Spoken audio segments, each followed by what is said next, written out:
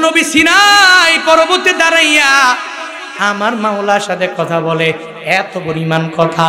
আল্লাহকে প্রশ্ন করে, আমার আল্লাহ জবাব দিয়া দেয়, আল্লাহকে প্রশ্ন করে, আল্লাহ জবাব দিয়া দেয়, আবার প্রশ্ন করে, আবার জবাব দেয়। আল্লাহকে এত পরিমাণ প্রশ্ন যে মূসা নবী করল। অন্য কোন নবীরা আমার আল্লাহকে এত প্রশ্ন করার সাহসও পায় নাই। কোন নবীরা এত প্রশ্ন করেও নাই। ওই মূসা নবী সিনাই পর্বতে যাওয়ার জন্য রওনা হয়ে গেলেন। প্রতিমধ্যে যাওয়ার পরে তাকায়া দেখে এক আল্লাহর বান্দা ধনী, টাকা পয়সার অভাব নাই, ধন দৌলতের কোনো অভাব নাই। ওই ধনীর সাথে মুলাকাত হয়ে গেল। ওই ধনী তাকে জানায় দেয় হ্যাঁ মুসা, তুমি তো মালিকের সাথে কথা বলো। এত ধন দৌলত আমার আমার আল্লাহর কাছে গিয়া তুমি জানাইবা। কি কাজ করলে আমার ধন দৌলত অনেক পরিমাণ কমে যাবে, এটা আল্লাহর কাছে গিয়া জানাইবা। আল্লাহকে প্রশ্ন করার পরে উত্তরটা আমাকে জানাবা। এই কথা বলার পরে মুসা নবী চলে গেলেন। একটু দূর যাওয়ার পরে এক বিদ্যা গরিব মহিলা দাঁড়ায় গেল। যার টাকা নাই, পয়সা নাই, কিছুই নাই। ওই গরিব মহিলাটা মুসা নবীরে জিগায়, তুমি আল্লাহর সাথে কথা বলো। ওই আল্লাহকে যা জিগাইবা, আমি এত টাকা, পয়সা নাই, এত গরিব হয়ে গেলাম। কোন আমলটা করলে আল্লাহ আমার সম্পদটা অনেক পরিমাণ বাড়াইয়া দিবে? সমাজটা তো এরকম, আমাদের দেশটাও তো চলে এরকম এক এক রকম। এক সেলিব্রিটি বান্দা, ও জানায় দেয়, আমার আর সেলিব্রিটি হওয়ার দরকার নাই। আর একজনে সেলিব্রিটি হতে পারে নাই। ও সেলিব্রিটি হওয়ার জন্য পাগল বারা মরিয়া হয়ে যায়। শুধু তাই না, যার ধন দৌলতের পরিমাণ অনেক বেশি হয়ে যায়। ও বলে, আর টাকার দরকার নাই। আর একজন গরিব, ও বলে, আমার টাকা লাগবে টাকা লাগবে টাকা লাগবে। একজনে পরিপূর্ণভাবে এত পরিমাণ জমি জামার মালিক। ও বলে, আমার জমি জামার দরকার নাই। আর একজনে শুধুমাত্র বিটা নিয়ে চলাফেরা করে। ও বলে, আমার দরকার। একজনের বড় কণ্ঠ, ও বলে, আর দু কণ্ঠ আমার। আল্লাহ দরকার নাই, দেওয়ার দরকার নাই। আর একজনের কণ্ঠই নাই। ও শুধু বারবার কান্না করে ও আল্লাহ তুমি আমারে কণ্ঠ দাও। একজনে শুধু, ছেলে মেয়ে ছেলে মেয়ে ছেলে মেয়ে। দশ পনেরোটা সমানে হয়ে গেল। আর একজনে একটাও নাই। ও বলে, আল্লাহ, আর দরকার নাই। আর একজন বলে, আমার দরকার। ও আল্লাহ একটা সন্তান দিয়া কলিজা ঠান্ডা করে দাও। আমগো দেশ, আমগো সমাজ এমনিতেই তো চলে। একজন ধনী বলে, ও মুসা, তুমি আমার আল্লাহকে জিগাইবা। আমার এত ধন সম্পদ আমার। আমি কি কাজ করলে আমার কমে যাবে? গরিব মহিলা বলে, আমার ধন সম্পদ নাই, আল্লাহকে গিয়া জিগাইবা। ওই আল্লাহ পাক, আমি কি কাজ করলে আমার ধন সম্পদ অনেক পরিমাণ বাড়ায়া দিবে? ওই মৌসা নবী আল্লাহর কাছে যাওয়ার জন্য সিনাই পর্বতে কথা বলবে রবানা যাওয়ার পরে এক ত্রিমুখী রাস্তা চলে আসলো। ওই রাস্তার মধ্যে এক আল্লাহর বান্দা বসে বসে ওখানে ভিক্ষা করে। তার দুইটা হাত নাই, তার দুইটা পা নাই। ওখানে বসে আছে মৌসা নবীর কাছে জিগায় ও মৌসা নবী, চোখের পানি ফালায়া ফালায়া ফালায়া ডাক দেয় মৌসারে আমার মাওলার সাথে গিয়া গিয়া গিয়া কথা বলবা।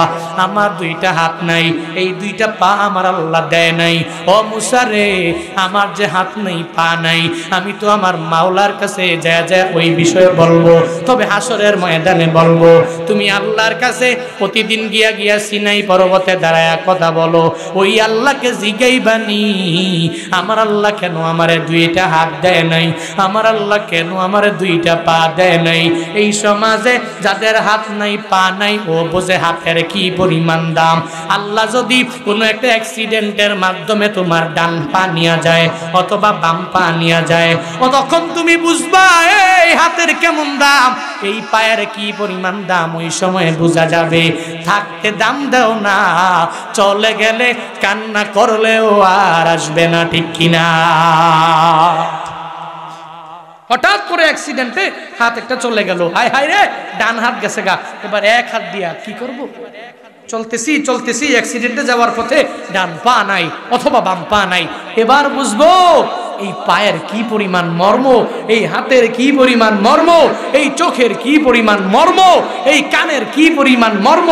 দুনিয়ার বিভিন্ন সার্জারি করার মাধ্যমে লাগানো যায়। কিন্তু আল্লাহর পক্ষ থেকে আল্লাহ পাক বান্দাকে যেই আকৃতি দেয়, ওই আকৃতির চাইতে পৃথিবীর মানুষের বানানো কৃত্রিম আকৃতি হতে পারে যাদের দুইটা হাত নাই পা নাই, ও বুঝে হাতের কি পরিমাণ দাম, ও জানে পায়ের কি পরিমাণ দাম। এজন্য তো হাত নাই, পা নাই যেই বান্দা। ও শুধু আল্লাহর কাছে বলে, আল্লাহ, তুমি আমারে কেন হাত দিলা না? আল্লাহ, তুমি আমারে কেন পা দিলা না? সৌদি আরবের এক কনফারেন্স আমি দেখতেছিলাম। দেখার সময়ে ওই কনফারেন্সের মধ্যে এক অন্ধ ছেলেকে নিয়ে আসা হলো।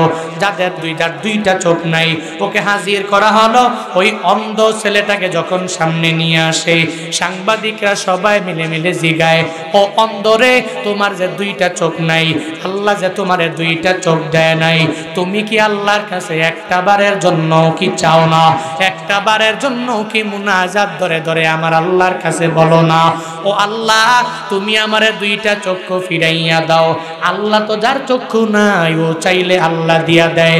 আল্লাহ যার হাত নাই, ওই আল্লাহ পূর্ণাঙ্গভাবে তার ক্ষমতা দিয়া দেয়। যেই বান্দার পা নাই আল্লাহর কাছে চাইলে তো আল্লাহ দিয়া দেয়। ওই চক্ষু নাই, অন্ধ শিশুটাকে যখন সাংবাদিকেরা জিগাইল তুমি কি আমার মাওলার কাছে একটা বারের জন্য কি চাও না? ও আল্লাহ, আমার দুইটা চক্ষু নাই, তুমি চক্ষু আমারে ফিরাইয়া দাও।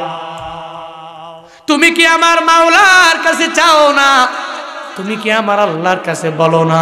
ও আল্লাহ, তুমি আমার দুইটা চক্ষু ফিনাইয়া দাও। আল্লাহর কাছে কি চাও না?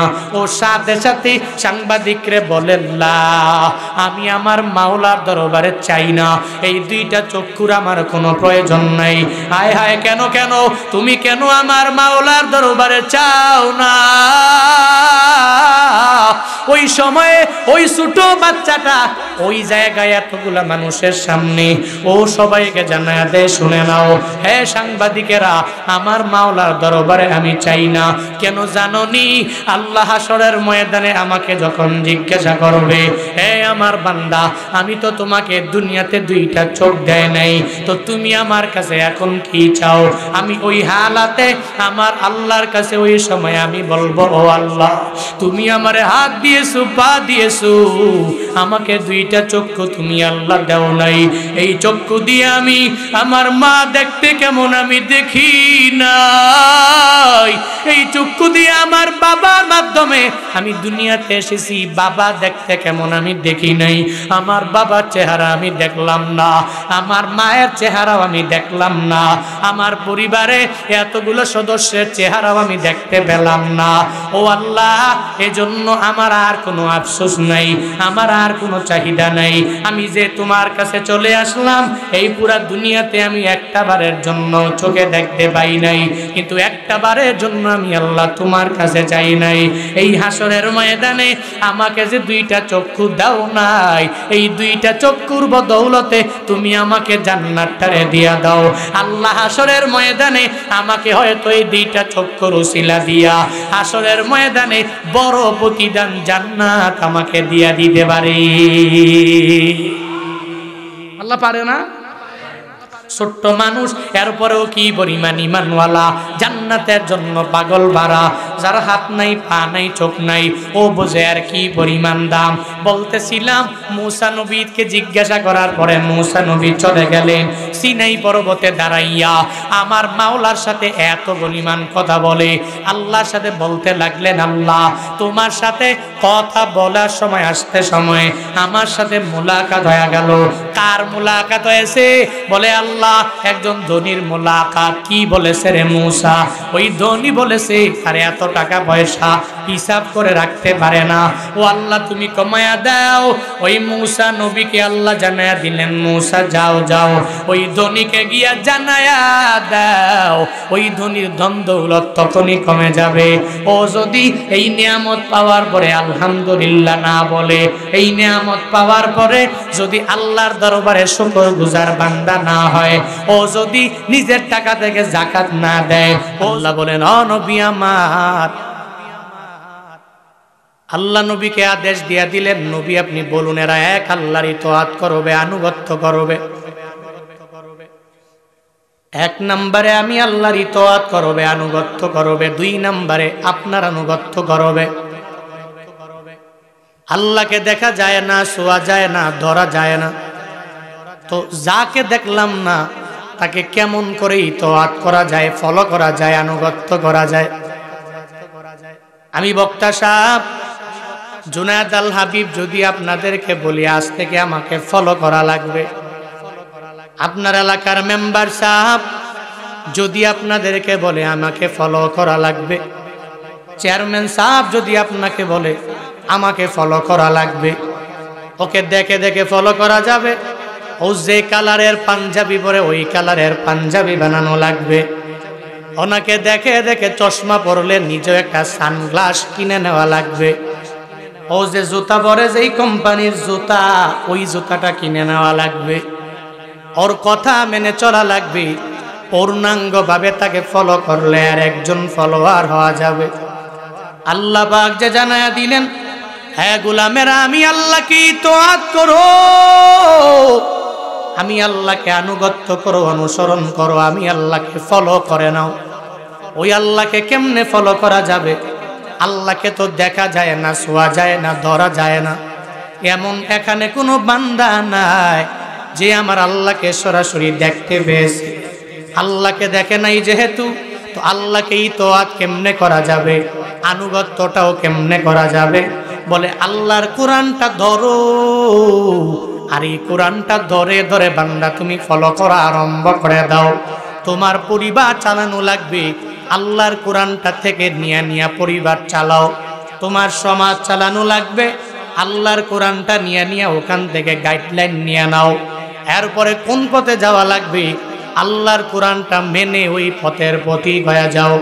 আল্লাহ পাক সুস্পষ্ট দুইটা লাইন দিয়া জানায়া দিলেন, ইন্নাল আবরার লাফি নাঈম ওয়া ইন্নাল ফুজ্জার লাফি জাহিম। নেক আমল করনেওয়ালা, ও বান্দা, তোরা যাবি জান্নাতে আর গুনাহ করনেওয়ালা জাহান্নামে। ফারিকুন ফিল জান্নাহ ওয়া ফারিকুন ফিস সাঈর একটা পথ হয়ে যাবে জান্নাতে আর একটা পথ হয়ে যাবে জাহান্নামের যেই পথের প্রতীক হও না কেন, আল্লাহ পাক তোমারে ওই পরিমাণ ক্ষমতা দিয়া দিলেন। ওই পরিমাণ পাওয়ার তোমারে আমারে আল্লাহ দিয়া দিলেন। আল্লাহ বলেন হ্যাঁ গোলামেরা, আমি আল্লাহকে তুই তো করে না আমি আল্লাহকে তুই তো কোনোভাবে দেখতে পারবা না তো আমার গাইডলাইন হিসাবে। আমার কালাম, আমার কথা, এই কোরআনটা আমি আল্লাহ তোমাদের মাঝে দিয়ে দিলাম। নবীর মাধ্যমে তোমাদের কাছে নিউজগুলো পাঠাইয়া দিলাম। দীর্ঘ তেইশ বছর লাগাইয়া আল্লাহ কোরআনটা নবীর উপরে নাজিল করলেন, অনর্থক বানায় নাই। আল্লাহ পাক এমনিতে এমনিতেই কোরআনটাকে নাজিল করে নাই। লাইলাতুল কদরের রাতে আল্লাহ পাক এই কোরআনটাকে প্রথম আসমানে নাজিল করলেন। এই কোরআন ছিল লাউহে মাহফুজের ভিতরে আল্লাহ কত মায়া করে করে এই কোরআনটাকে একসাথে প্রথম আসমানের মধ্যে নাজিল করলেন। এরপরে নবীর পুরা জীবদ্দশায় তেইশ বছর লাগাইয়া, মাক্কি মাদানি দুই দুই জগতের মধ্যে নবীর উপরে নাজিল করলেন। নাজমান নাজমান নাজমান করে করে। কিছু কিছু করে করে। এক আয়াত, দুই আয়াত একটা সুরা করে করে নাজিল করলেন। যেই সময়ে বান্দার যে সুরাটা লাগবে, যেই সময়ে বান্দা আটকায়া যাবে, আল্লাহর কোরআন যদি ফলো করে নাও, বান্দা আটকা বানা আটকা বানা কারণ এই সংবিধান দুনিয়ার কোনো মানুষের বানানো সংবিধান না। এই যে কোরআন, এটা একজনের কালাম চিল্লা বলো তার না।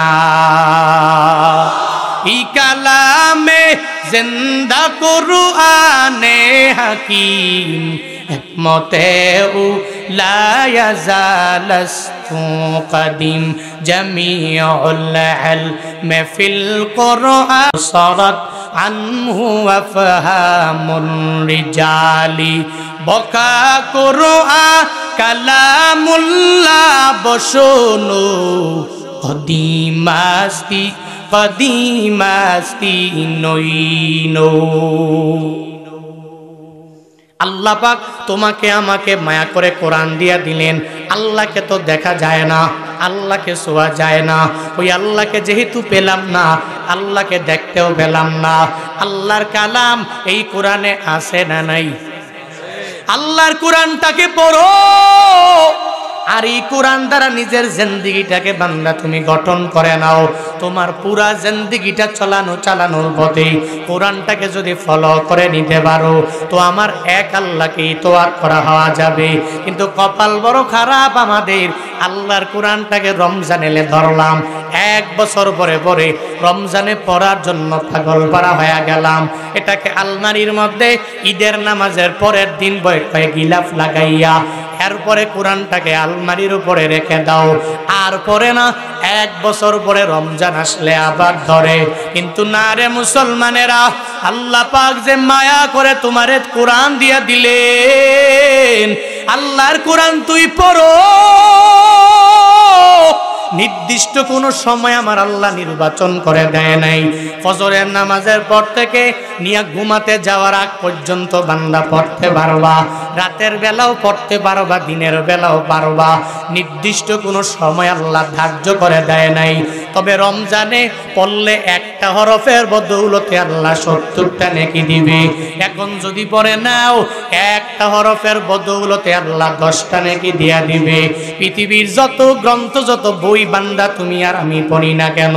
এই যে ইউটিউবে ঢুকে ঢুকে নিজের সময়ে লস করে করে কত সিনেমা ছবি দেখলা। হে যুবকেরা, এমন কোনো নাটক নাই যেই নাটকটা তুমি দেখলা না।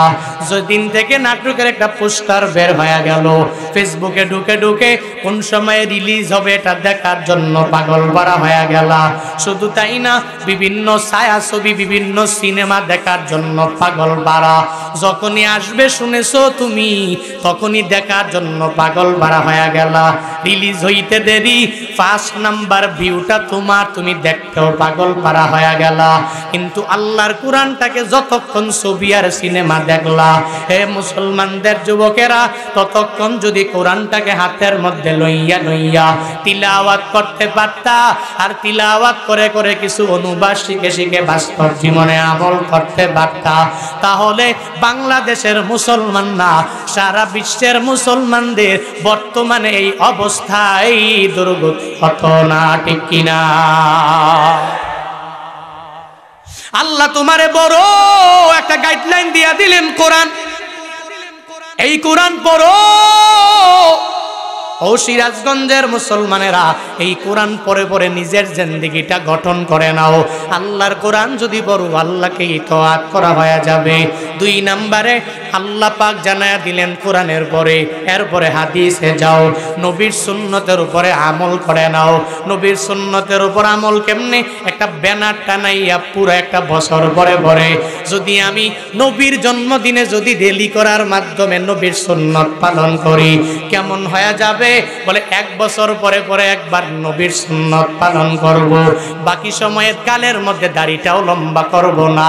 নবীর সুন্নত অনুযায়ী নেসপেশাক আমি সুন্দর করে যদি পড়তে না পারি, নবীর সুন্নতে মোয়াক্কাদা আল্লাহ পাকের ফরজে আইন যদি নামাজ আদায় করতে না পারলাম, ওই নবীর প্রত্যেকটা সুন্নত আমি যদি পুরা জিন্দিগিতে চলার পথে, আমি যদি সুন্দর করে এইগুলোকে জিন্দা যদি করতে না পারলাম, তাহলে একটা সুন্নতের আমল দিয়া নবীর তো আর করা হয় না। এলাকার মেম্বার যদি বলে, ও, আমার ওয়ার্ডের লোকেরা, আমাকে তুই ফলো করো।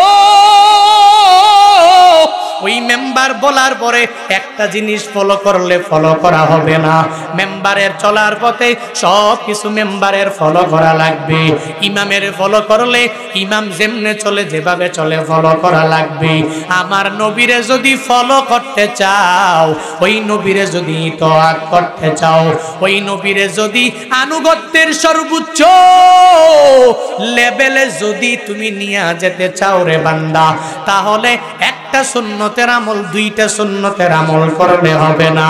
সাতটে আঘাত লাগলেও এর উপরে ওই সুন্নতের আমল করা লাগবে।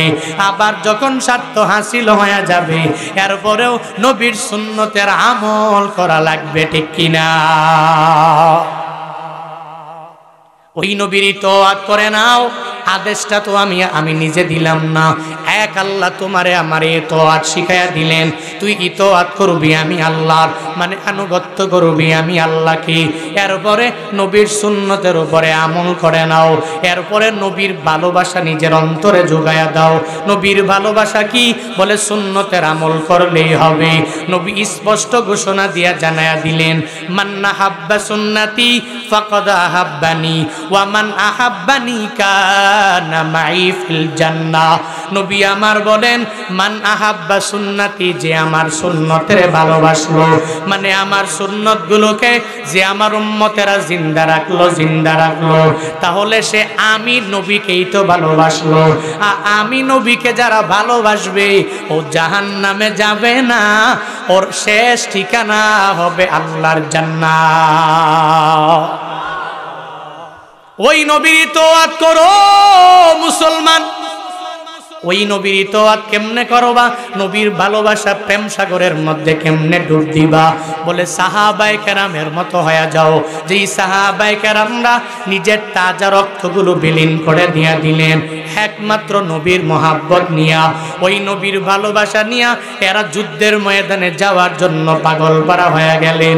নিজের জীবনটাকে পুরাই বিটা মনে করলেন। এই যে শরীরে রক্ত, এই রক্তগুলো জমিনের মধ্যে ভরবে। এই পুরা জমিনটা লালে লাল হয়ে যাবে। এরপরে এরা চিন্তা ভাবনা করে নাই। যদি বড় সাহাবিদের কথা বলি, তাহলে তো অভাব নাই। ছোট্ট ছোট্ট নবীর সাহাবায় সাহাবি যারা, এরাও নবীর জন্য কি পরিমাণ পাগল পারা হয়ে গেলেন। হজরতে বেলালের দিকে, এ বান্দা তাকায়া দেখ উমাইয়া এত বড়। জুলুম করার পরেও, নির্যাতন করার পরেও হজরতে বেলালের পরেও আহাত শব্দটা মুখ থেকে ফেলে দেয় না। এরপরেও নবীর ভালোবাসা বাদ দেয় না। মসজিদে নবীর মুয়াজিন হজরতে বেলাল প্রতিদিন তো আজান দেয়, নবীর দায়িত্ব নিয়া নিয়া। ফজরের নামাজে আজান দেয়, হাইয়া আলাসলা মানুষ নামাজের দিকে আসো। এরপরে জানায় দেয়, হাইয়া আলাল ফালা হ্যাঁ মানুষেরা যদি নামাজের দিকে আসো, তাহলে তোমরাই হয়ে যাবা সফল কাম। হজরতে বেলাল মসজিদে নবীর মুয়াজ্জিন নবীর আদেশ নিয়ে নিয়া প্রতিদিন ফজরের নামাজে হাইয়া আলাস সালা বলে সাউন্ড দেয়, এরপরে হাইয়া আল ফালা বলে বলে সাউন্ড দেয়। একদিন বেলাল হাইয়া আলাস সালা বলে না হাইয়া আল ফালা বলে না। একদিন হঠাৎ করে আমার নবীর অনুমতি পাইয়া ওই মাইকের মধ্যে মাইক ছাড়া ওই মসজিদে নবীতে দাঁড়াইয়া ওখানে মিনারার মধ্যে সুন্দর করে সাহন দিয়া দিল। হাই আলাল জিহাদ। প্রতিদিন বেলাল আজান দেয়, আসো, ও মুসলমানেরা, তোমরা নামাজের দিকে আসো, আর সফলতার দিকে তোমরা দৌড়াইয়া আসো। কিন্তু হঠাৎ করে বেলাল যখন ঘোষণা দিয়া দিল, জিহাদের ময়দানে যাওয়া লাগবে, কে আসো জিহাদের ময়দানে আসো না। এই কথা বলার পরে মসজিদে নববীর পাশে এক আল্লাহর বান্দি মহিলা হাইয়া আলাল জিহাদ, এই সাউন্ড শোনার পরে চোখের বাণী ফেলায়া ফেলায়া কান্না করে। ওই মহিলার পাশে তার সাত বছরের একটা বাচ্চা। সে সাহাবি আমার নবীর হাতে কালিমা পড়নেওয়ালা মুসলমান। এই ছোট্ট বাচ্চাটা ওই মায়ের পাশে, ওই জায়গায় মায়ের কান্না দেখে। চোখের পানি ফালায়া ফালায়া বাচ্চাটাও কান্না করে। কেন কান্না করবে না? কারণ মা যদি ছেলের সামনে চোখের পানি ফালায়, ওই ছেলে কশিন কালেও নিজেকে ধরে রাখতে পারে না পারে না পারে না। ওই মায়ের জানা দেয়, ও মা, তুমি কান্না করবা না। আমি ছেলে হইয়া তোমার কান্না মেনে নিতে পারি না পারি না পারি না গো মা। আমার সামনে তুমি কান্না করবা, কে তোমারে আঘাত দিয়া দিল? আমি তাকে দুনিয়া থেকে বিদায় করে দেওয়ার জন্য চলে যাব। ওই মা সন্তানটাকে সঙ্গে লইয়া শুইয়া শুইয়া কান্না করে। ছোট্ট সাহাবিটা ওই মায়ের জানায় দেয়, মা আমার, প্রতিদিন বেলাল হাইয়া সলা হাইয়া আলাল ফালা এই সাউন্ড দেওয়ার পরে পরে তুমি নামাজে যাও। আর নামাজে দাঁড়াইয়া মুসল্লার মধ্যে তুমি নামাজ পড়ে পড়ে। এরপরে কোরআন তিলাওয়াতের আমল চালু করে দাও। ও মা, আজকে এমন কি বেলাল সাউন্ড দিয়া দিল? যেই সাউন্ড শোনার পরে তুমি চোখের পানি ফালায়া ফালায়া কান্না করল। ওই মা আবার বলে, ও ছেলে, আমি চোখের পানি ফালায়া কান্না করি কেন তোর জানা নাই? আমি কেন কান্না করি? জানো জানো জানো। আজ থেকে কয়েক মাস আগে একদিন বেলাল যখন সাউন্ড দিয়া দিল হাইয়া লাল জিহাদের সাউন্ড দিল, তোর বাবা আমার পাশেই তো শোয়া ছিল, ওই তোর বাবা হাইয়া লাল জিহাদের সাউন্ড শোনার পরে, এরপরে আর এই বিছানার মধ্যে একটু দেরি করে নাই। ওই স্বামী আমার ঘুম থেকে জেগে বলে, ও স্ত্রী, তোর বাড়িটা দাও, ওই বেলাল তো আমার নবীর অনুমতি সারা জিহাদের ডাক দেয় নাই। ওই বেলাল জিহাদের ডাক দিয়া দিল শুধু নবীর অনুমতি নিয়েই তো দিয়েছে।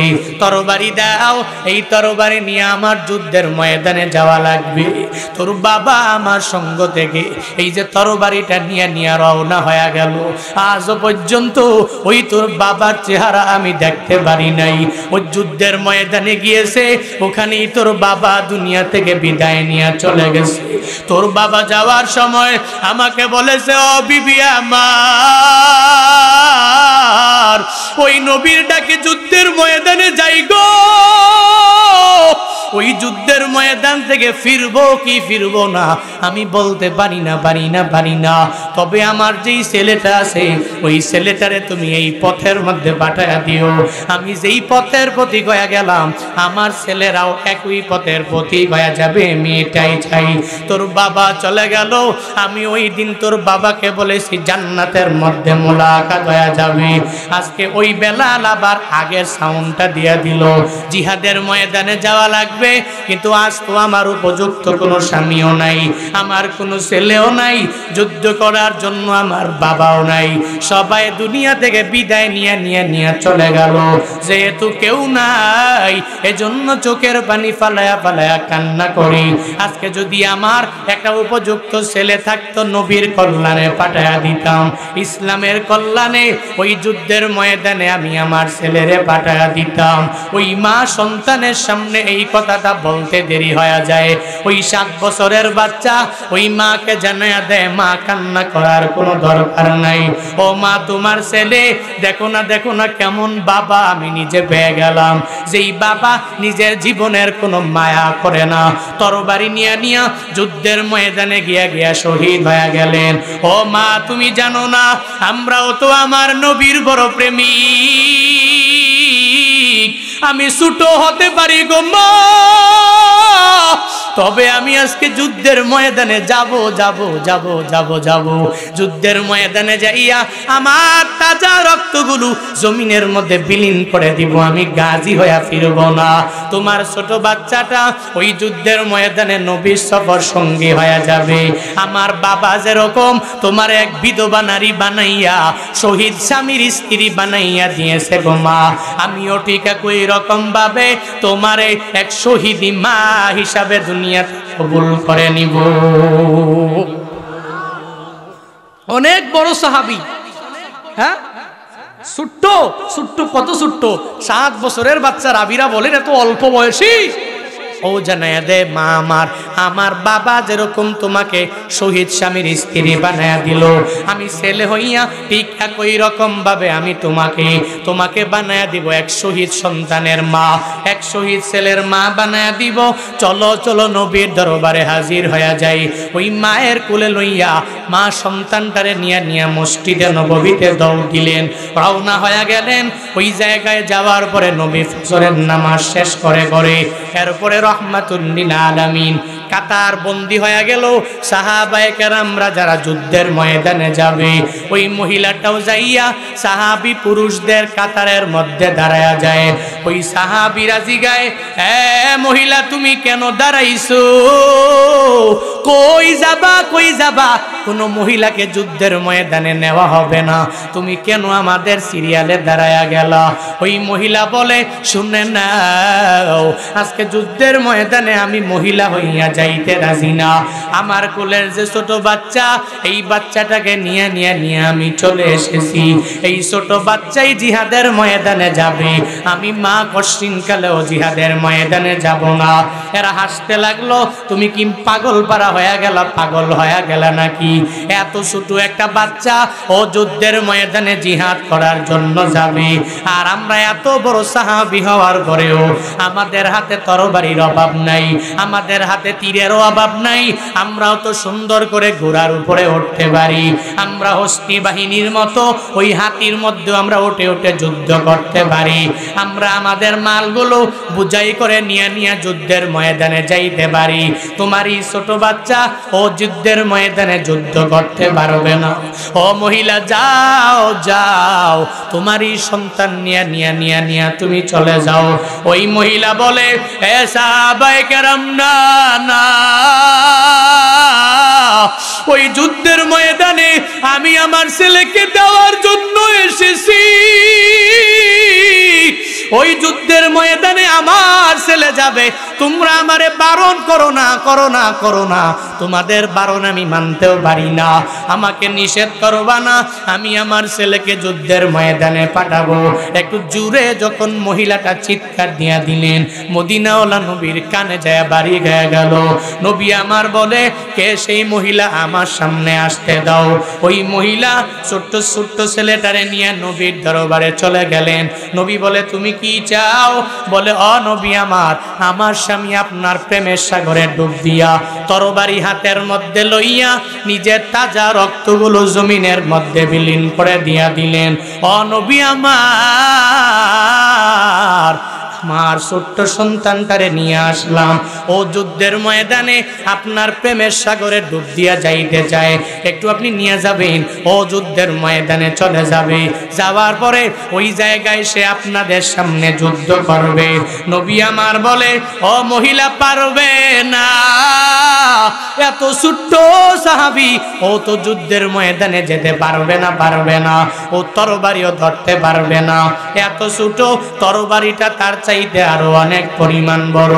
যাও যাও, এ ছোট্ট সাহাবি ওয়াদা দিয়া দিলাম। তুমি চলে যাও, তুমি বড় হয়ে যাওয়ার পরে আমি নবীকে সঙ্গে লইয়া, আমি নবী তোমাকেও সঙ্গে লইয়া যুদ্ধের ময়দানে উপস্থিত হয়ে যাব। কাফের, মুশরেক যারা, এদের সাথে তুমি নিজেও বড় হলে যুদ্ধ করতে পারবা। এটা বলে বলে, ওই মহিলাকে যখন বিদায় দেওয়ার জন্য নবী বলে, ওই মহিলা বলে, ও নবী আমার না না আমার ছোট্ট ছেলে যুদ্ধ করতে পারবে না। আমি জানি জানি জানি জানি, ভালো করেই জানি। ও তরবারিও ধরতে পারবে না, ও ঘোড়ার উপরে উঠতে পারবে না। ও যুদ্ধের ময়দানে আমি জানি ও যুদ্ধ করতে পারবে না গো নবী। কিন্তু ও নবী আমার, ওই যুদ্ধের ময়দানে যাওয়ার পরে কাফেরেরা আপনাকে মারার জন্যে যখন ডান দিক দিয়ে মারবে, বাম দিক দিয়ে মারবে, আপনাকে সামন দিক দিয়ে মারবে এরা তীর মেরে আপনাকে তীরের আঘাত দিয়া দুনিয়া থেকে বিদায় করার চেষ্টা করবে। ওই সময়ে আমার এই ছোট ছেলেরে, ও নবী গো, আপনার ডান দিকে লক্ষ্য করে করে ওই কাফের মুশরেক বেঈমানরা যখন আপনার দিকে তীর মের লক্ষ্য করে, তীর যখন মারবে, আমার ছেলেটারে আপনি ডান দিকে ধরে রাখবেন। আমার ছেলের গায়ে তীর পড়বে, নবী আপনার গায়ের মধ্যে তীর যাবে না। আবার কাফের মুশরেকেরা আপনার বাম দিকে লক্ষ্য করে যখন তীর মারবে, আমার ছেলেটারে লইয়া এরপরে আপনি বাম দিকে নিয়ে যাবেন। ওই ছেলেটার গায়ে তীর পড়বে, আমার নবী তীরের আঘাত থেকে বেঁচে যাবে। শুধু তাই না তাই না, আমার এই ছেলেটাকে আপনি ঢাল হিসাবে ব্যবহার করবেন। তার বাবা যেই পথে প্রতীক হয়ে গেল, আমিও তারে ওই পথের প্রতীক বানাইতে যাই। অনবিগ যখন আপনার সামন দিকে বুকের মধ্যে তীর মারার জন্যে, ওই কাফেরেরা যখন মারবে, আপনি আমার এই সন্তানটারে সামন দিক দিয়া ধরে রাখবেন, আমার সন্তানের গায়ের উপরে তীর পড়বে, এরপরে আমার নবী তীরের আঘাত থেকে বেঁচে যাবে। আমার সন্তানের পুরো বডিটা, আমার সন্তানের পুরো শরীর তীরের আঘাতে যাত্রা হয়ে যাবে। এরপরেও আমার নবী দুনিয়াতে বেঁচে থাকবে, আমার নবী সুন্দরভাবে থাকবে, সালামতে থাকবে। আমার সন্তান আমার নবীর কারণে বিদায় হয়ে যাবে। কাল হাসরের ময়দানে আমি বলতে পারব, আল্লাহ, আমি দুনিয়াতে এক শহীদ শহীদ স্বামীর স্ত্রী দুনিয়াতে ছিলাম। এরপরে আমার ছেলের মায়া করে করে ছেলেটাকে আমি বুকের মধ্যে রাখি নাই। ওই নবীকে বাঁচাইবার জন্যে আমি আমার ছেলেকে জিহাদের ময়দানে পাঠাইয়া দিয়েছি। ও আল্লাহ গো, আমাকে কি এই উসিলায় মাফ করে জান্নাতের মধ্যে দেওয়া যায় না? ওই দিন আমি আল্লাহর কাছে বললে, আল্লাহ আমাকে মায়া করে এই উসিলায় হয়তো জান্নাতে দিতে পারে সুবাহান আল্লাহ আর জোরে পড়ি সুবহান আল্লাহ মহিলার এত কথা শোনার পরে নবী বলল, অসুবিধা নাই, এর উপরেও তুমি চলে যাও। ছোট্ট এই সাহাবির পুরা জীবনের দাম আমি নবীর কাছে আছে ও যখন বড় হয়ে যাবে, এরপরে চলে আসবে। ওই ছোট্ট সাহাবি আমার কাছে আসার পরে, এরপরে বড় হলে যুদ্ধে নিয়ে যাব। নবী মানতে রাজি না। মহিলাটা যত নবীরে বলে, নবী যখন মানতে রাজি হয় না। ছোট্ট বাচ্চাটাকে নিয়ে নিয়ে রওনা হয়ে গেলেন। যাওয়ার পথে বাড়িতেও যাইয়া পুষতে পারে নাই। অতিমধ্যে যাওয়ার পরে ছোট্ট বাচ্চাটা ওই মায়ের দিকে লক্ষ্য করে মাকে জানায়া দেয়। ও মা, বাড়িতে নিও না। আমাকে বিদায় দাও বিদায় দাও বিদায় দাও। ওই যে বিছানার মধ্যে আমি তোমার কাছে প্রতিশ্রুতিবদ্ধ হয়ে গেলাম। আমি তোমার কাছে ওয়াদাবদ্ধ হয়ে গেলাম। ও মা, আমি এই জায়গায় তোমার কুলে থাকতে রাজি না। আমি চলে যাব, যুদ্ধের ময়দানে গিয়ে আমার জিহাদ করা লাগবে। ও মা, বিদায় দাও। আমার নবী যেই পথের প্রতীক হয়ে গেল, আমিও সেই পথের প্রতীক হয়ে যাব। সাহাবায়ে কেরামরা, আমার বাবার বন্ধুরা যদি যাইতে পারে, আমি কেন যাইতে পারব না?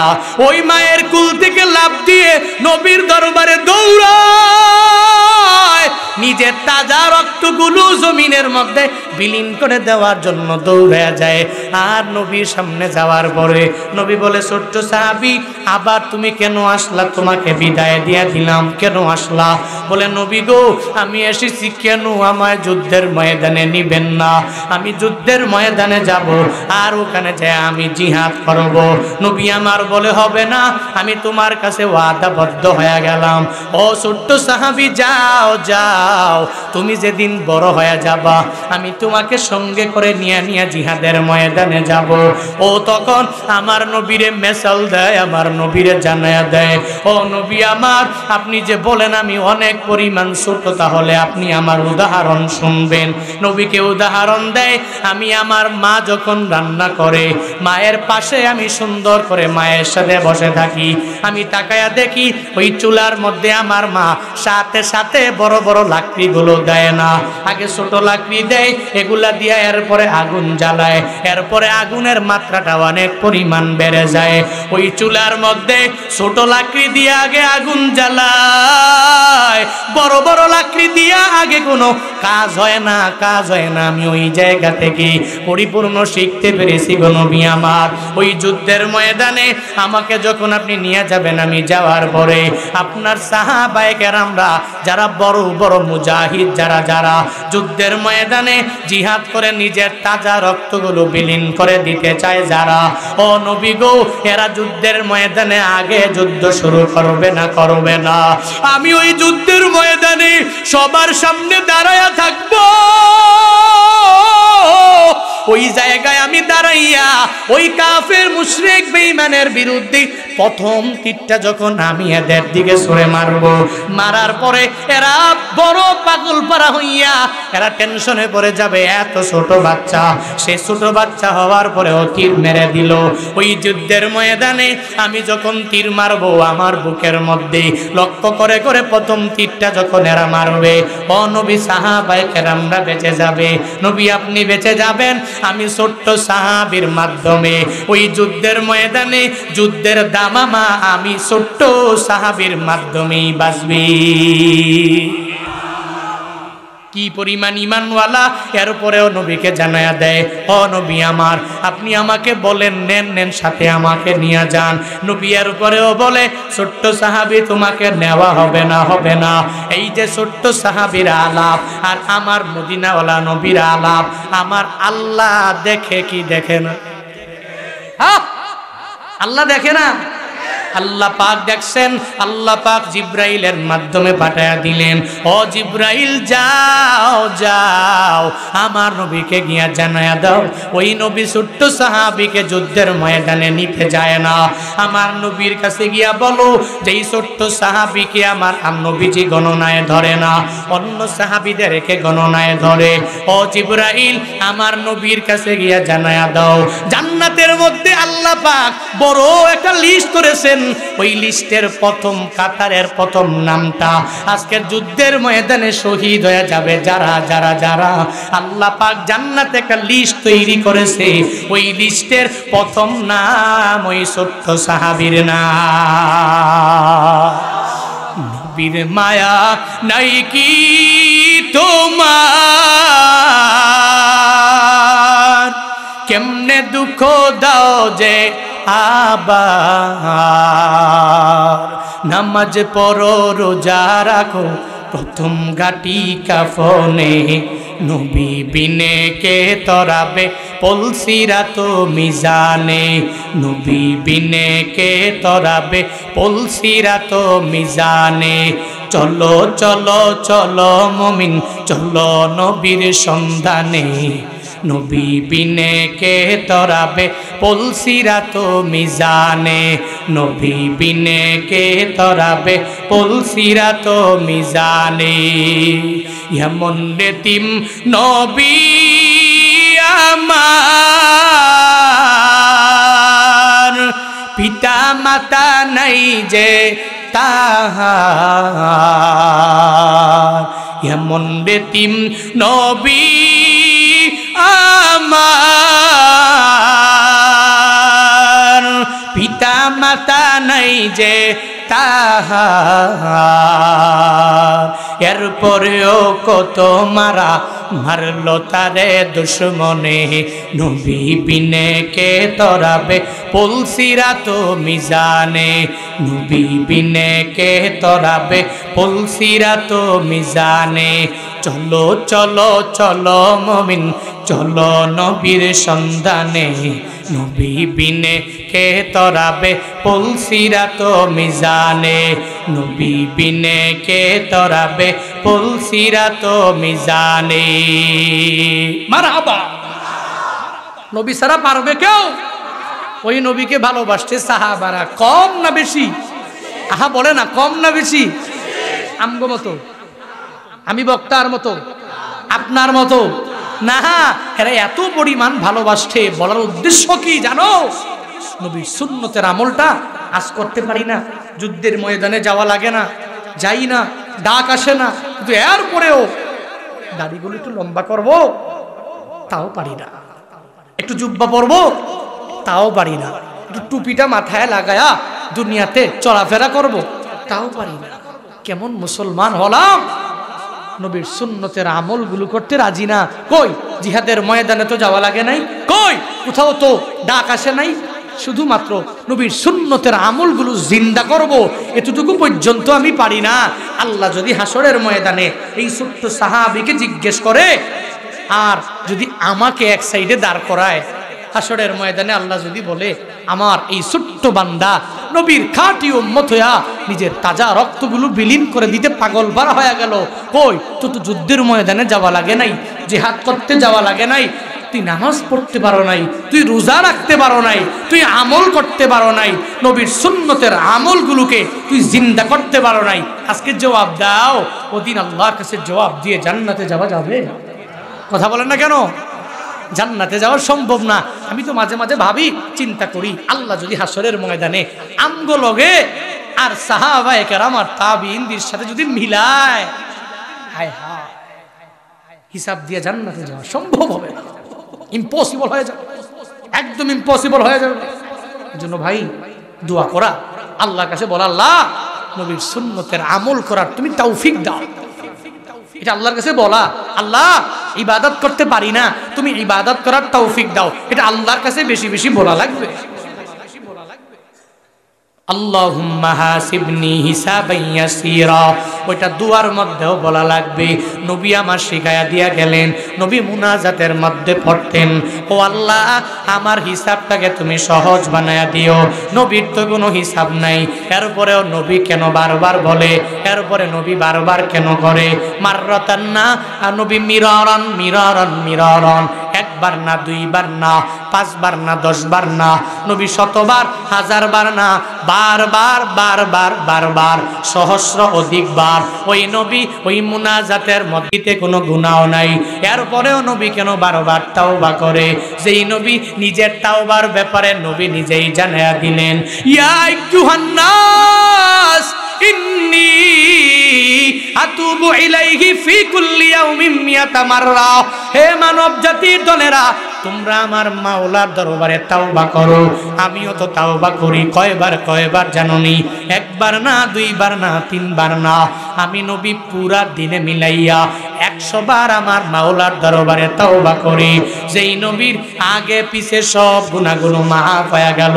আজকে তোমার আমার এত পরিমাণ গুণা এত পরিমাণ অপরাধ। নাই নামাজ, নাই রোজা, নাই জাকাত নাই হজ, না কোনো আমল করতে পারলাম। এরপরেও আমার মতো অহংকারী আর কেউ নাই। এলাকায় অহংকার করে করে বেড়ালাম। আমার মতো আমলি কেউ নাই, আমার মতো বড় বক্তা কেউ নাই, আমার মতো ইলিমওয়ালা কেউ নাই, আমার মতো ভালো কথা বলনেওয়ালা কেউ নাই। আমার মতো সুরেলা কেউ নাই। আমার মতো মেম্বার এই ওয়ার্ডে নাই। আমার মতো চেয়ারম্যান এই উপজেলায় নাই। আমার মতো এমপি বাংলাদেশে আর একটাও হতে পারে না। আমার মতো মন্ত্রী, আমি সব আমার পাওয়ার অনেক পরিমাণ বেশি। এই চিন্তা নিয়ে নিয়ে আশরাফুল মাতলুকাতের আগায়া যায়। এরা মনে করে, আমি বড় দুনিয়ার কোনো বান্দাই বড় না। অথচ ওই নবী কি সুন্দর করে মুনাজাতে নবী বলতেন, আল্লাহুম্মা জালনি সবুরা ওয়া জালনি শাকুরা ওয়া জালনি ফি আইনি সগীরা ওয়া ফি আয়ুনিন নাসি কাবীরা। ওই নবী মুনাজাতে দোয়া করতেন, হে মালিক, আল্লাহুম্মা জাআলনি সাবুরা ও আল্লাহ, তুমি আমারে সবির বানায়া দাও মানে ধৈর্য ধারণকারী বানায়া দাও। এর উপরে নবী আমার মাওলার কাছে দোয়া করতেন, ও আল্লাহ, তুমি আমারে শুকর গুজার বান্দা বানায়া দাও। এ সিরাজগঞ্জ শাহজাদপুরের মুসলমানেরা, নিজেকে যদি শুকর গুজার বান্দা বানাও, তাহলে আমার নবীর উপরে আমল করা হবে। ওই নবী, কি পরিমাণ শুকর গুজার জাননি বান্দা? উহুদ পাহাড়টা পুরাটা স্বর্ণ দিয়া বরাট করে করে। আল্লাহ পাক দেওয়ার জন্য নবীকে অফার করে জানায়া দিলেন, ও নবী আমার, আপনার টাকা পয়সার জন্য কারও কাছে যাওয়া লাগবে না, দিনারের জন্য কারও কাছে যাওয়া লাগবে না। আপনার সামনে উহুদ পাহাড় উমরা করার জন্য মক্কা মদিনায় গেছেন যারা। উহুদের পাহাড়টা ছোট না বড়? হ্যাঁ এত পরিমাণ বড়? ওই উহুদ পাহাড় পরিমাণ স্বর্ণ দিয়া, গোল দিয়া আল্লাহ পাক নবীকে দেওয়ার জন্য অফার করে। নবী আমার বলে, না না, ও আল্লাহ, আমার উহুদ পাহাড় পরিমাণ স্বর্ণ দরকার নাই। তুমি আমাকে যা দিয়েছ, আমি এক বেলার খাবার পাইলে আলহামদুলিল্লাহ বলে নিব। আর যদি খাবার না পাই, আমি সবর ধরব। এ বান্দা ডিপ্রেশনে পড়ার কোনো দরকার নাই। চিন্তার মধ্যে পড়ার কোনো দরকার নাই। একটু চিন্তা মুক্ত হয়ে, বান্দা, আমার আর তোমার সবার আগায় যাওয়া লাগবে। এই যে এখন তো যুবকেরা একটু বিপদে পড়লেই আত্মহত্যা করার জন্য চেষ্টা করে নেয়। নিজের বউয়ের সাথে একটু কথা কাটাকাটি হয়ে গেলে নিজে আত্মহত্যা করার জন্য পাগল বাড়া হয়ে যায়। আবার বলে, এই জেন্দিগিতে আর কোনো মেয়ে ভালো লাগবে না। আর জেন্দিগিতে আমি প্রেমও করব না। গতকালকে বয়ান শেষ করে যাওয়ার পথে হঠাৎ করে মোবাইলে ঢুকলাম। ঢুকতেই দেরি, একটা নিউজ পেয়ে গেলাম। কেমন নিউজ জানেননি? এই আপনাদের যুবকদের মতো। জামালপুর এলাকায় বাড়ি, সদর উপজেলার এক যুবক, সে কয়েক মন দুধ মাথার মধ্যে ঢালে আর নিউজ রিপোর্টাররা যাইয়া তাকে জানায়, তুমি কেমন হয়ে গেলা? এত মন দুধ তুমি কেন মাথার মধ্যে ঢালতে আরম্ভ করলা? কারণটা কি? ও নিউজ রিপোর্টারদেরকে জানায় দেয়, শুনে নাও, আমি একটা বিয়া করেছি। বিয়া করার পরে আমার এই মহিলাটা আমার কথা শুনে না। মাত্র বারো দিন পরে আমাকে ডিভোর্স দিয়া দিয়া চলে গেল। আমিও নিয়ত করেছি, আমার জিন্দিগিতে আর আমি বিয়া করব না। এই দুনিয়াতে আর কোনো মেয়েও আমার ভালো লাগে না।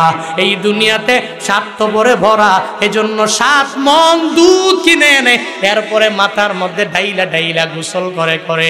ও সবাইকে জানায়া দেয়, আমার স্ত্রী বারো দিনে যদি আমাকে ডিভোর্স দিয়া দিয়া চলে যেতে পারে, তাহলে এই মেয়ে জাতিকে বিশ্বাস করা যাবে না।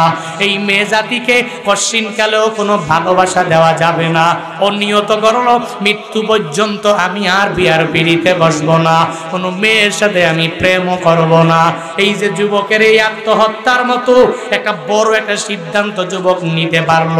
আবার পুরো জিন্দিগিতে কোনো বিয়াও করবে না। ওই নবীর সুন্নত, সুন্নতটাও মানতে সে রাজি না। এরপরেও সে জানায়া দিল যে, আমাকে এত বড় বিপদের মধ্যে ফেলায়া চলে গেল। মৃত্যু পর্যন্ত তার মতো কোনো মেয়েরে আমি ভালোবাসবো না, আমি বিয়াও করব না। এত কি টেনশন তোমার? তুমি কেন আত্মহত্যার পথটা বেছে নাও? কেন বড় থেকে বড় একটা সিদ্ধান্ত নিয়ে নাও? কেন এত বড় ডিসাইড নাও? বরং আমার মাওলার উপরে তাওয়াক্কুল করে আগায়া যাও। এ বান্দা, তোমাকে আমার আল্লাহ যেই হালাতে রেখেছেন, ওই হালাতে থেকে থেকে বান্দা চিন্তা ভাবনা করো। আল্লাহ পাক আমাকে হাত দিয়া দিলেন, অন্য একটা বান্দাকে হাত দেয় নাই। আল্লাহ পাক পা দিয়া দিলেন আর একটা ব্যক্তিকে আমার আল্লাহ পা দেয় নাই।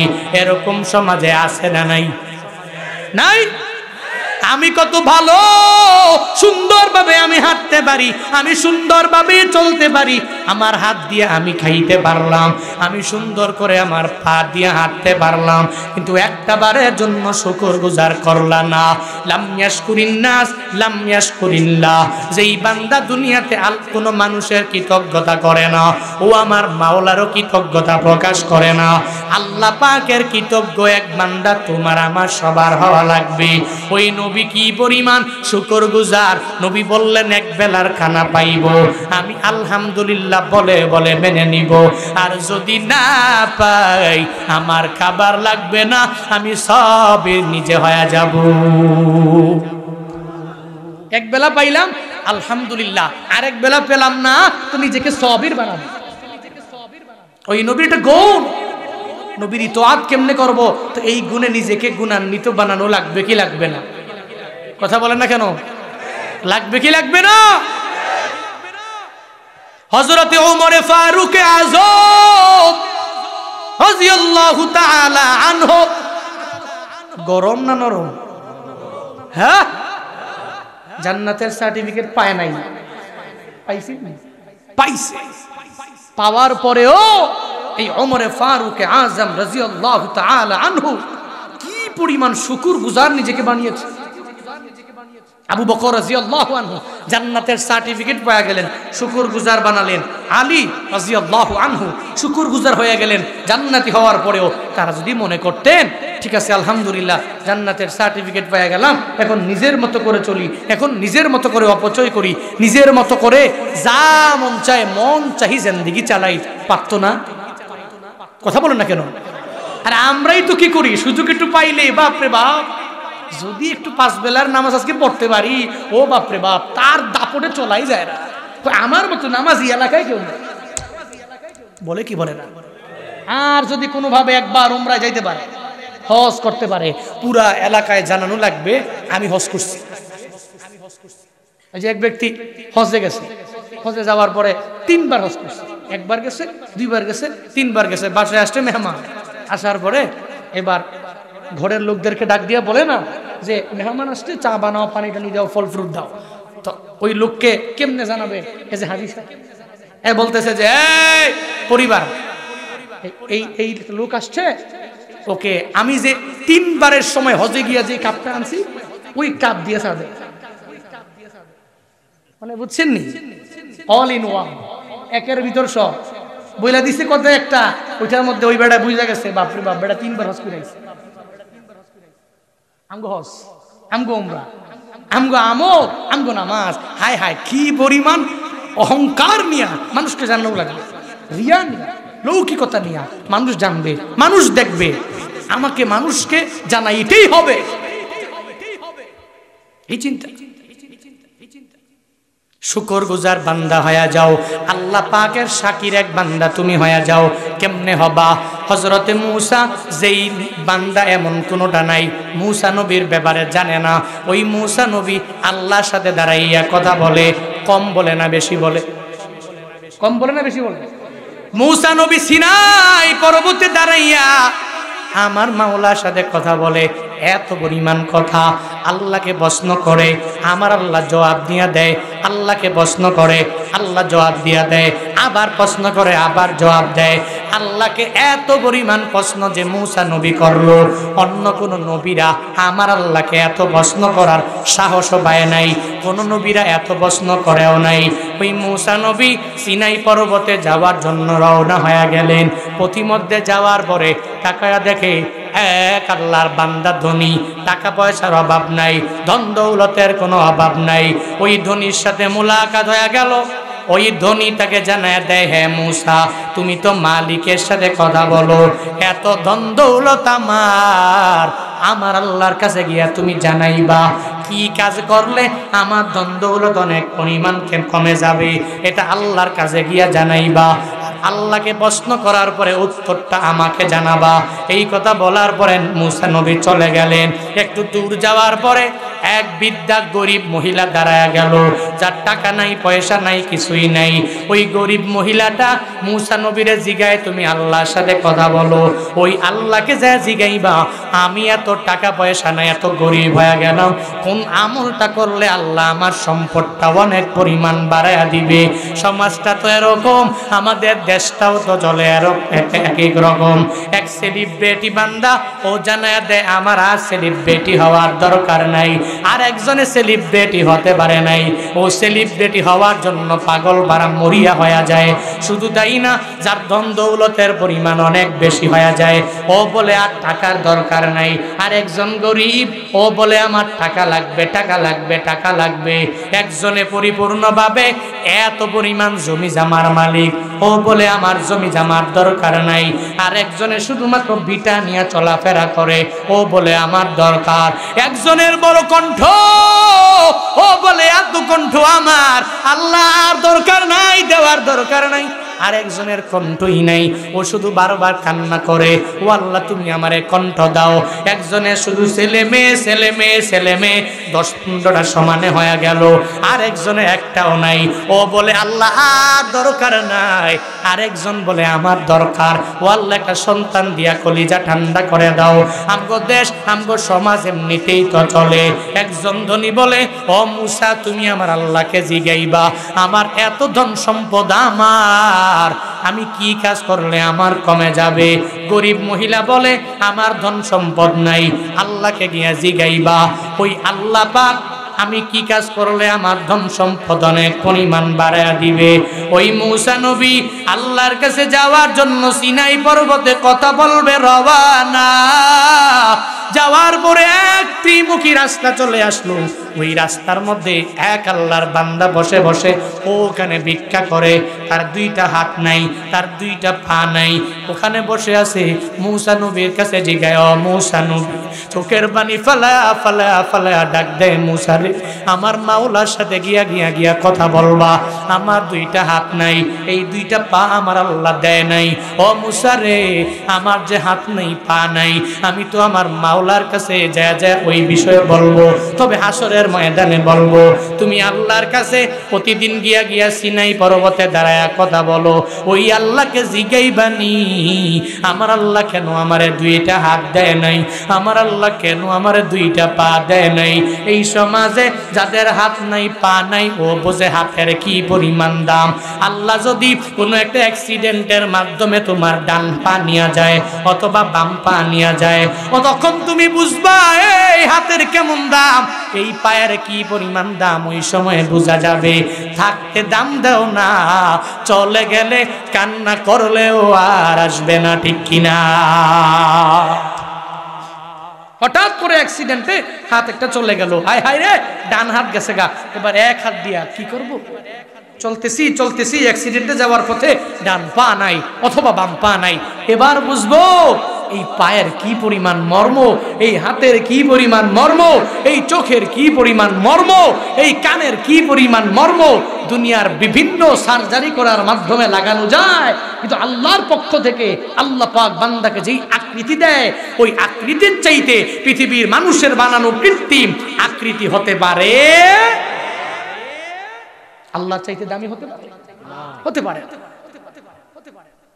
যাদের দুইটা হাত নাই পা নাই ও বুঝে হাতের কি পরিমাণ দাম, ও জানে পায়ের কি পরিমাণ দাম। এজন্য তো হাত নাই, পা নাই যেই বান্দা। ও শুধু আল্লাহর কাছে বলে, আল্লাহ, তুমি আমারে কেন হাত দিলা না? আল্লাহ, তুমি আমারে কেন পা দিলা না? সৌদি আরবের এক কনফারেন্স আমি দেখতেছিলাম। দেখার সময়ে ওই কনফারেন্সের মধ্যে এক অন্ধ ছেলেকে নিয়ে আসা হলো। যাদের দুইটার দুইটা চোখ নাই, ওকে হাজির করা হলো। ওই অন্ধ ছেলেটাকে যখন সামনে নিয়ে আসে, সাংবাদিকরা সবাই মিলে মিলে জিগায়, ও অন্ধরে তোমার যে দুইটা চোখ নাই, আল্লাহ যে তোমার দুইটা চোখ দেয় নাই, তুমি কি আল্লাহর কাছে একটা বারের জন্য কি চাও না? একটা বারের জন্য কি মুনাজাত ধরে ধরে আমার আল্লাহর কাছে বলো না? ও আল্লাহ, তুমি আমার দুইটা চক্ষু ফিরাইয়া দাও। আল্লাহ তো যার চক্ষু নাই, ও চাইলে আল্লাহ দিয়া দেয়। আল্লাহ যার হাত নাই, ওই আল্লাহ পূর্ণাঙ্গভাবে তার ক্ষমতা দিয়া দেয়। যেই বান্দার পা নাই, আল্লাহর কাছে চাইলে তো আল্লাহ দিয়া দেয়। ওই চক্ষু নাই, অন্ধ শিশুটাকে যখন সাংবাদিকেরা জিগাইল তুমি কি আমার মাওলার কাছে একটা বারের জন্য কি চাও না? ও আল্লাহ, আমার দুইটা চক্ষু নাই, তুমি চক্ষু আমারে ফিরাইয়া দাও। তুমি কি আমার মাওলার কাছে চাও না? তুমি কি আমার আল্লাহর কাছে বলো না? ও আল্লাহ, তুমি আমার দুইটা চক্ষু ফিরাইয়া দাও। আল্লাহর কাছে কি চাও না? ও সাথে সাথে সাংবাদিকরে বলে আমি আমার মাওলার দরবারে চাই না। এই দুইটা চক্ষুর আমার কোনো প্রয়োজন নাই। হায় হায়, কেন কেন? তুমি কেন আমার মাওলার দরবারে চাও না?